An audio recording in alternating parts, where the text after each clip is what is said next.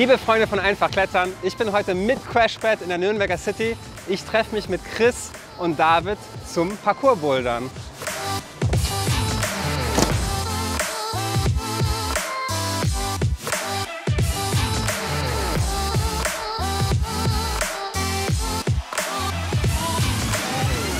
Einfach klettern wird präsentiert von Scarpa und Edelrit.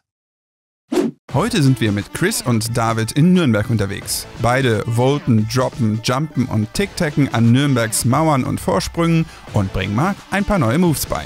Das Wort Parcoursbouldern hat er sich zwar nur ausgedacht, aber wie groß die Überschneidung zwischen Parcours und Bouldern wirklich ist, na das finden wir heute gemeinsam heraus. Sollen wir loslegen? Ja, Ja? ja. Ja gut, dann würde ich das sagen, vielleicht erster Versuch ist mal, sich hier hinzuhängen, Ja. Füße an die Wand und von da aus an die obere Mauer zu kommen und wieder runterzukommen. Ja. So, ich glaube, ein bisschen easier ist, wenn man sogar mit der Ecke arbeitet. Dann kann man vielleicht von hier sich hoch und von unten wieder. Ja, okay. Das sieht Genau. er. So, ich meine, ist gut, glaube ich, um für die Finger ein bisschen warm zu werden, ein bisschen Gefühl für die Wand zu kriegen. Ja, ist nice. Das sah bei dir leichter aus. Ja, geil, geil, geil, geil, geil. Das ist schwerer als es aussieht. Ich dachte, Okay, ja. Ich dachte, das ist eine Kletterbewegung, kein Problem, aber nee, ist, ist schon anders jetzt hier an der Betonwand. Ich meine, und Ja. ich glaube auch die Wand ist ja anders als ein Klettergriff, weil oft Ja. hat man doch die Griffe, die ein bisschen rum. Man kann Ja. ja. immer ein bisschen reingreifen, hier kann man halt nur flach. Genau, das ist so ein richtiger. Da ist nicht, da ist nicht viel. Aber deswegen mit der Ecke, Ja. wenn man eine Hand hier in der Ecke Ja. hat, gut. Und dann mit der startet vielleicht hoch. Ja. Und dann auch wieder an die Ecke zuerst. Stimmt, Dann kann man sich so ein bisschen so Ja. Gut, dann gegenlehnen. zweiter. Versuch. Ja, geil. Und langsam, langsam. Yes. Mein erster, Nice. mein Ja. erster Parcours-Hand. Jawohl. Also was mich von Parcours quasi so ein bisschen dafür gesorgt hat, dass ich einen Respektabstand vor Parcours beibehalten habe, ist der Betonboden. Ah. Also Ja, voll. Ich meine, wenn man Ja. irgendwie viel nur. die Bewegung und alles finde ich cool und habe auch Verlust, das heute auszuprobieren. Aber das hier, Man will halt nicht. das ist der Grund, warum ich echt Respekt davor Fall, ja. habe. Dass man merkt, dass der Boden eigentlich dein Freund ist. So, weil, weil ich meine, wenn man sich gut abrollt und sich gut abfängt, dann tut der Boden eigentlich nicht weh. Also es sind eigentlich die Schwachpunkte sind immer die Gelenke. Gelenke. Ist beim ansonsten Kle- ja. kommen eigentlich eher so Kratzer oder so an die letzte. Okay, Challenge 2, glaube ich, wäre hier hängen Oh, ohne Ecke. und, und ah, dann okay. hier rüberkommen. okay. Meine, wenn man Bock hat, geht man noch hier hoch und geht dann eine Stützung ganz hoch. Oder keine Ahnung. Okay.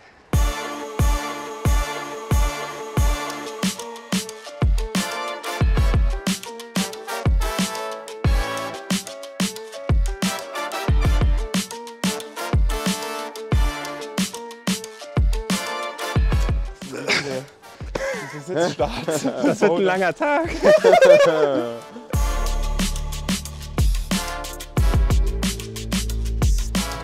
Nein. Jawohl! Stark. Oh, und der Climb aber. Jawohl. Fett. Nice. Es ist ein ähnliches Gefühl wie beim Bouldern eigentlich. Es ist ein Problem, man braucht eine Lösung Man und man ist glücklich, Lösung, wenn man oben ist. Die sind super biegsam, Oh, Ganz dünn. super dünn, Man spürt jede Landung. Gut, die Oh. Stangen. Das sind fast so Boulderschuhe, würde ich sagen. die sind wirklich richtig dünn. Ja, ne? ja. Also ich spüre den anderen Ja, Finger quasi ja, durch die Sohle ja. durch. Ich meine, die sind natürlich auch ein bisschen ausgetreten jetzt, Ja. aber dann werden sie perfekt quasi. Ja, Es kommt auch so ein bisschen drauf an, was man genau machen will. Also gerade viele Leute, die an Stangen unterwegs sind, Ja. schwingen und so balancieren machen, die benutzen eher die dünnen Schuhe. Okay. Und Leute, die jetzt halt viel auf Dächern rumspringen und sehr viele Drops taken, die haben meistens schon auch dann andere, dickere Schuhe. Okay. Wollen wir mal ums Eck schauen noch? Gerne. Traditionell ist hier eigentlich dieser Dino. Also man könnte auch hier oder man, macht, man kann ja auch an der Ecke da machen. Du meinst mit So. Hoch. Am besten komplett aushängen ja, aushängen? und dann Bam. Also erstes Ja. ganz wichtig ist Ja. eigentlich immer, wir machen immer einmal so vorher den hier, weil man hat halt immer Staub vom Boden Ja. und sobald halt eine kleine Staubschicht da ist, Staubschicht da ist, Ja. rutscht man halt. Aber sobald man frei macht, Das hat man halt irgendwie Grip. ja. Und dann möglichst, Hände lang möglichst? möglichst lang Ja. und auch hier ist eigentlich wichtig, dass, sag ich mal, der komplette Fußballen Ja. aufliegt Drückt, halt und nicht nur, nicht nur die Zehen, Ja. weil dann rutscht man weg. Aber umso mehr Fläche da ist und dann zieht man und dann drücke ich sozusagen mit dem Bein, also erst ziehen, dann drücken, dann weg. Ziehen, drücken, weg. Ziehen, drücken, weg. Yes. Okay, das geht. Ja, ging, oder? Beim Bouldern würde, also beim äh, am Felsbouldern, Ja. würde jemand spotten. Dass Ah ja, die ja, macht, macht, ihr, ja, ja. Nee, äh, macht ihr das auch? Nein, macht ihr nicht? Also wir spotten generell bei fast gar nicht. Ich will ja eure Kultur besser verstehen und, und kennenlernen. Das ist ein Aber- bisschen crazy beim ja. Parcours. Das, ich habe irgendwie das Gefühl, das ist manchmal auch ein bisschen Stolz dabei. Dieses Challenge schaffen Ja, muss man alleine schaffen irgendwie. okay. Von Anfang an lernt man halt, dass man draußen immer auf Beton ist. Ja. Man hat keine Matten, man hat auch niemanden eigentlich, der einen retten, also safen kann. Ja, Und damit lernt man schon, ich kann mich in jeder Situation selber irgendwie abfangen. ja. Ist gleich wie beim Dino, anstatt dass man hochspringt und Ja. greift. Ah, Drückt es geht man nur darum, quasi- okay, man klar. zieht eigentlich. Man, Das zieht, man zieht an der Mauer seinen Oberkörper hoch und Es ist recht beim- nah an der Mauer, Ja. um dann von hier aus nur noch hochzudrücken. Okay. Bisschen wie so ein Muscle-Up an der Stange. Oder wie auch beim Bouldern am Fels, der Ausstieg Genau, manchmal. Okay. Ja, ja, ja. Ja, Geil. das war das schon. Hast du, den Ja, hast gut, du. es kann ja alles nicht direkt klappen, ne? Oh ja, oh ja, oh ja. Okay, das Yes. Stark, geil. Parcours. ja, ich, ich merke das Ja, zu bei dir 100 auch. Prozent. Das- Ihr habt Fußtechnik. Ja. Ihr macht alles über den Dass, Fuß. dass, der, dass man halt Kontakt hat und viel Ja. Reibung, viel Fläche. Genau, und dadurch ist man eigentlich. Aber mein Kletterhirn sagt mir halt, da ist kein Da ist Tritt. kein Tritt, ich rutsch weg. Ich rutsch weg. Yo! Sie, Mit Tritt. sehr geil. Yes! Der Kletterer fühlt sich mit. Schau sicherer. mal hier, Felix. Mein, mein Kletterauge hat natürlich Zugeschlagen Den kleinen direkt. den kleinen äh, Tritt entdeckt. Naja, man könnte jetzt probieren, ob man da an die Stange hochkommt zum Beispiel. Man würde sozusagen zwei Schritte am besten hier oben machen. Also ich mache zum Beispiel rechts, links, rechts. Okay. Dann würdest du auch hier rechts, links und dann mit rechts an die Wand. Okay. Genau. Das kann man jetzt auch einfach ein paar Mal, dass man ein bisschen das Gefühl bekommt. Und am besten, Ja. die Hände sind nicht weg. Weil wenn du halt wegrutschen würdest, dann knallt man sozusagen. Yes, geil, geil, geil. Stark. Ja, ja, jetzt genau. Jawohl! Ich mache das jetzt schon über zehn Jahre eigentlich und David jetzt auch schon an die acht oder neun. sowas. Dadurch, dass man halt auch, ich meine, wie es bisschen mehr, man macht es halt jeden Ja. Tag über die letzten zehn Jahre und man hat natürlich nicht damit angefangen. Man steigert sich ja ganz langsam. Aber ich fange mit. Du fängst damit schon direkt an, aber du bist ja auch daran gewöhnt, das ist ja auch gut. Und dadurch, glaube ich, kann sich der Körper sehr gut anpassen.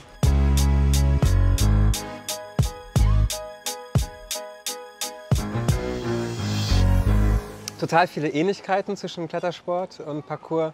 So dieses Community-Ding, Ja. dieses man hat ein Projekt, äh, man kriegt Tipps von den Leuten, die drumherum stehen, probiert sich Sachen abzuschauen. Es hat die Höhe, Die Versuche auch, dass man mehrmals braucht, bis man es überhaupt geschafft hat. ja, Pause machen, damit äh, man überhaupt eine realistische Chance hat. Am ersten Spot dachte ich, okay, wir sind jetzt 20 Minuten hier und dann ist gut. Wir waren deutlich über eine Stunde da Ja. Und wir hätten auch noch Wir locker noch eine Stunde oder zwei dranhängen können. Das, das hatte ich nicht auf dem Schirm. Dass, Dass man eigentlich ein dass 10 Quadratmeter Beton einen quasi vier Stunden beschäftigen Und der Witz ist ja, wir sind ja nur in den Oberkörperteil von Parkour eingedeift. Parkour entwickelt sich ja noch viel mehr mit Sprünge und dann akrobatische Sachen noch. akrobatische, aber auch kreative Bewegungen einfach, die man sich ausdenken kann. Man kann einfach an einer Bewegung schon eine Stunde, an einer Stange irgendwas machen.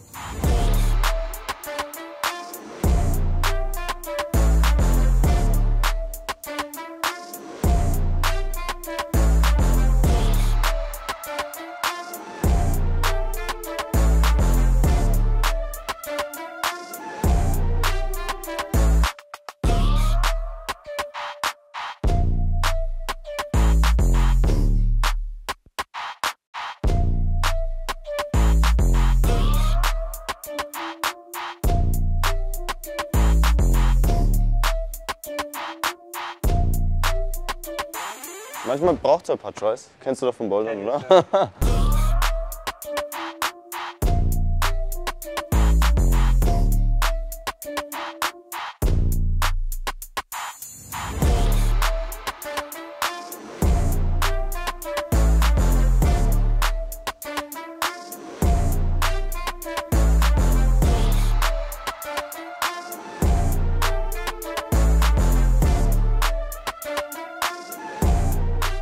ist Alles, schon. Ich habe ein bisschen geholfen, aber, aber war, glaube ich, ganz gut, oder? Was wäre so ein typisches äh, Parcours-Training?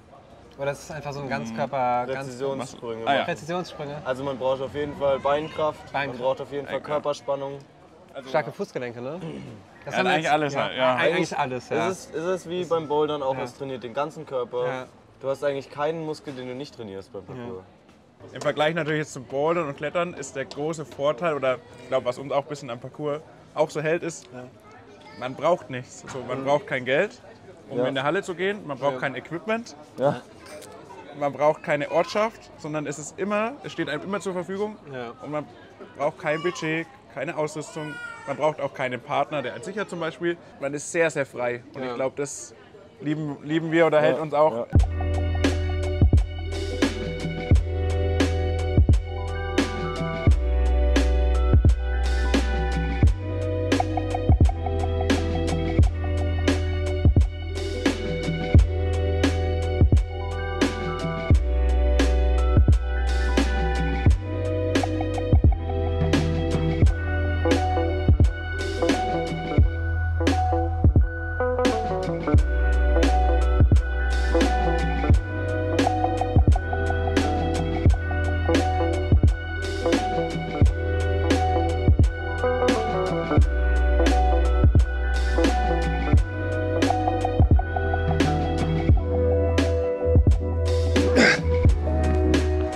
Das geht. Parcours ist noch total nischig. Also es machen ganz, ganz wenig Leute. Würdet ihr euch wünschen, dass es anders wird? Wünscht ihr euch, dass mehr Leute Parcours machen? Ich denke, das ist eine stadtspezifisch. Wenn du jetzt zum Beispiel nach London gehst, dann hast du einfach eine krassere Architektur, die besser für Parkour geeignet ist. Demnach gibt es auch mehr Leute, die da trainieren. Aber klar, wenn du jetzt eine Parkourhalle hättest, wie in München oder jetzt auch in Regensburg, dann ziehst du natürlich die Leute direkt rein, weil Okay. du einfach einen, einen Safe Space hast, du hast ein Dach über, dem Kopf, du kannst äh, trainieren gehen, wenn es regnet. Das würde auf jeden Fall die Community vergrößern. Ja, ich glaube, ich würde mir wünschen, dass einfach noch mehr Leute so viel Spaß oder so eine Leidenschaft finden würden, wie ich habe. Ja, Weil muss nicht mir das- Parcours sein.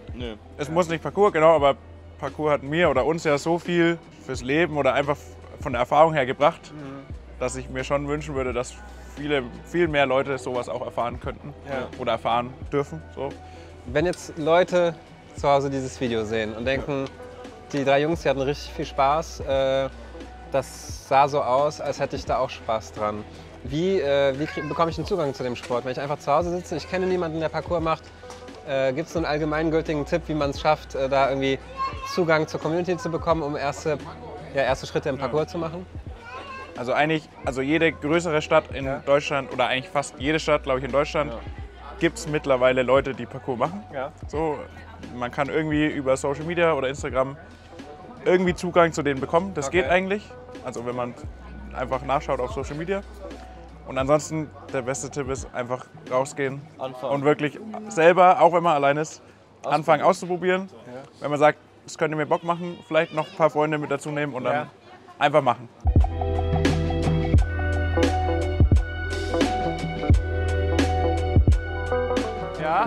Jawohl. NBT! Yes. NBT, NBG! Never been Never done been here. done. Never been Vielleicht. Erstbegehung. Maybe, ja?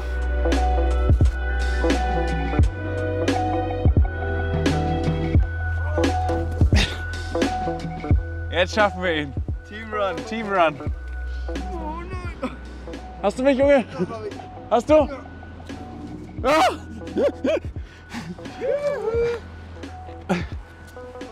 Ah. Ja. Mit bisschen Hilfe kann man alles schaffen.